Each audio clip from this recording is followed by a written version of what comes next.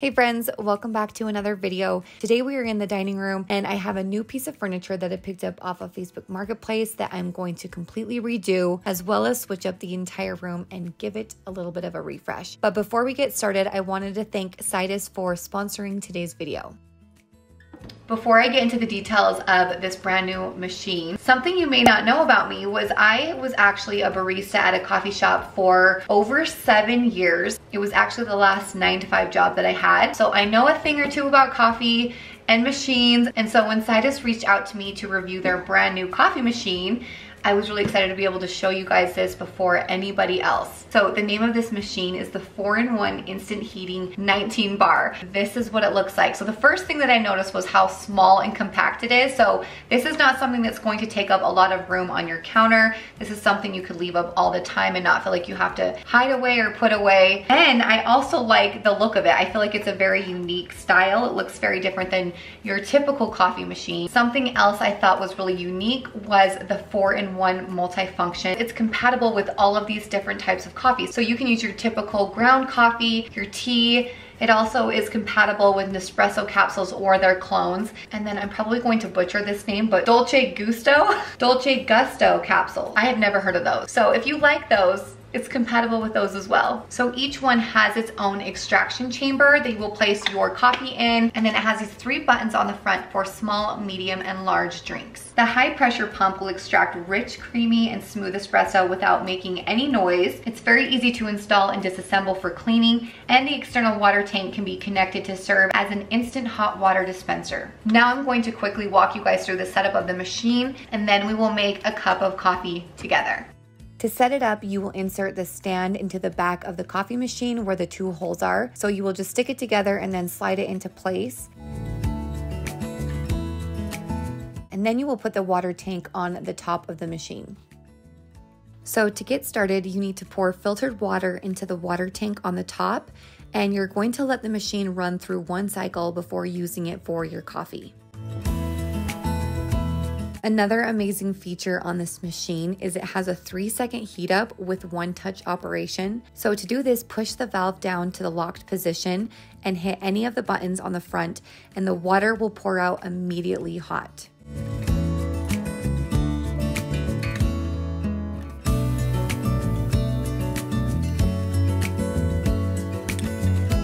Once you've done this one time, you are ready to start making coffee. So I am using their Mighty Well Espresso Ground, and this is the dark roast in the flavor hazelnut cookie cranberry. So I'm using the scooper and I'll pour it into the chamber and then flatten it with the other side.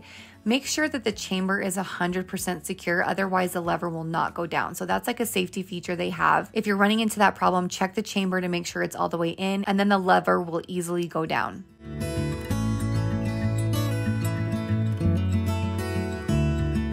So push the lever down and then select the size you want with the small, medium, or large button.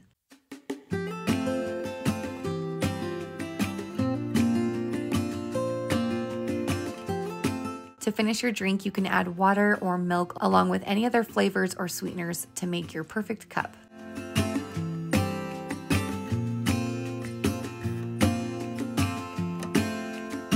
I know all of you coffee lovers will love this machine, so be sure to check the link in my description box to pick one of these machines up for yourself. Thanks again, Cyetus, for sponsoring today's video.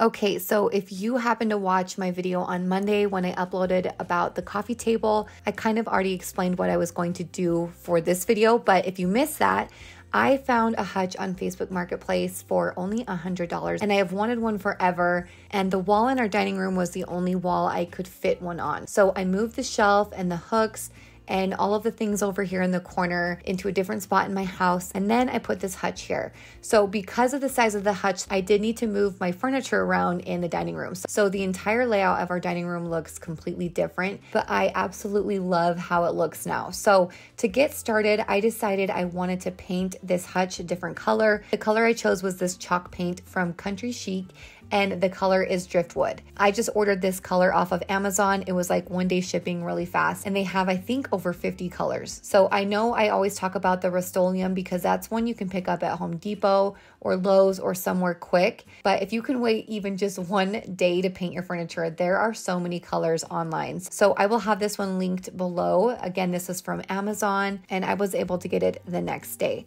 So I am just going to give two coats to the entire hutch. I will need to seal this. That's something I haven't done yet. Chalk paint definitely needs a top coat. If you get it wet at all, it can wipe the paint right off. So you definitely want a top coat on whatever you are painting. I get asked a lot what my favorite top coat is. Honestly, whatever brand I'm using, I usually just pick up a top coat from them. I'm going to use the same company, so I will order from Country Chic on Amazon and I will just get the top coat that way. One thing I decided though is I kind of wanted this to be two toned. So I wanted the back to stay dark.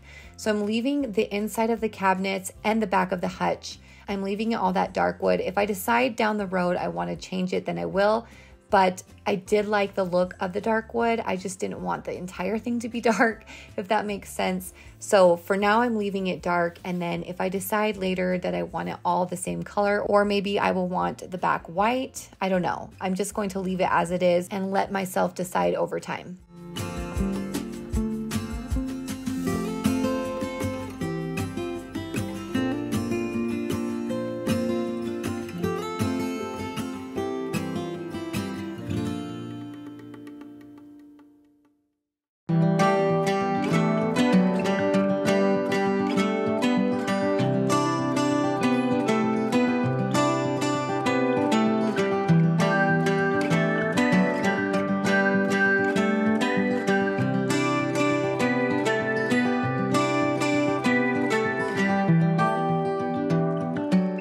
So to fill up the hutch, these are all of the things that I have picked up over time at our thrift store.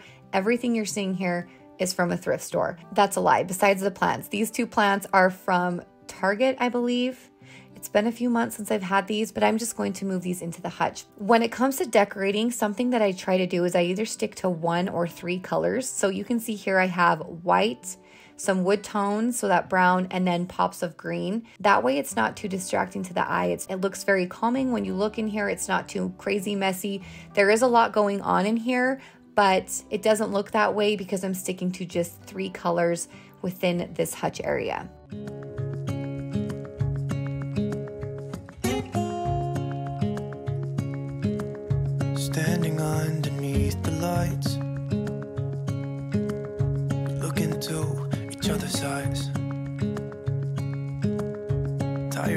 Snowflakes are coming down.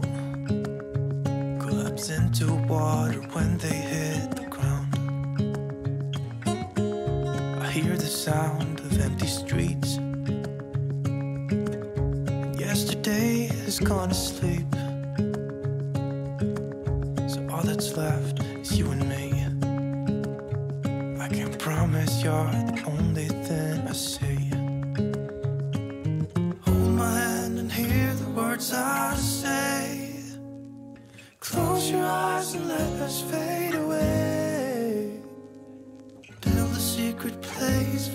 and me. Let our minds be caught up in a dream.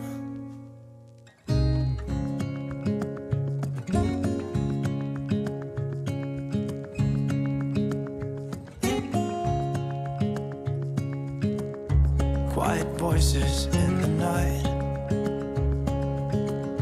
Time is running out of sight is passing by. Tries to carry all the whispers that it finds. The walls are listening when we talk. Making echoes as we walk. There's no one left but you and me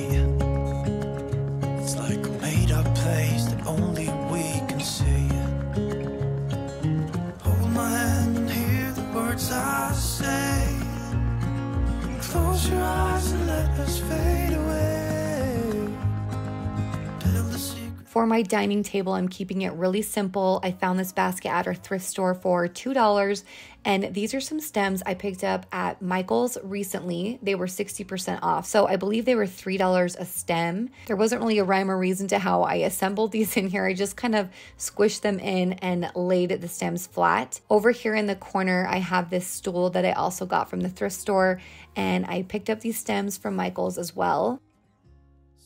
And then you might recognize this tree. This tree actually belongs in our bedroom, but I had the idea of replacing our corner shelf here with just a tree. And I do like how this looks. So I think I'm going to pick up another tree at our thrift store. I actually DIYed this tree. I got one from the thrift store, removed all the leaves, and then I put my own leaves in. Before I show you the final reveal, I wanted to show you guys these chairs that I picked up off of Lowe's website. So I have been looking everywhere for wicker chairs for the ends of my tables. Every place I looked online was sold out. I even asked over on Instagram if people would send me links if they knew of any place that had any. And then I stumbled across these on Lowe's website, and thank goodness I found them when they were on sale. They are still really inexpensive for these kind of chairs. For just one chair, I was seeing a price for between 500 to $1,000 for one single chair, which I think is ridiculous. So, anyway, when I found these chairs, they were only $250 for both chairs. I got both of them half price. Right now they're 500, but they have been running sales on them, which means I paid about 125 a chair. And I cannot believe I found them for that price. So, I will have them linked below in the description. But here is the final reveal of how the room turned out. I am so in love with this room. It looks like a completely different space now that we've rearranged the furniture and we have the table going in a different direction. For those wondering, this dining table is actually something I've had since I was born. So this was my family's dining table that my mom gave to me when she upgraded to a bigger table at her house. And I just sanded it down and did the same top coat that I did on our coffee table. So if you missed that video, go back and watch that and I will walk you through exactly how you you get this stain color, but I love it. It looks really natural, especially in person. I feel like on camera, it does pick up more of an orange tone where it doesn't have that at all in person. There are a few things though that I feel like this room needs to be complete. One of those being I feel like we need to switch the light around. Now that we have the table going in a different direction, I feel like the light on the ceiling needs to go the other way so that it's going the same direction as the table. And I'm also on the lookout for a rug. So that's something that I feel like will really tie this room in together once I find a rug that will make this space complete.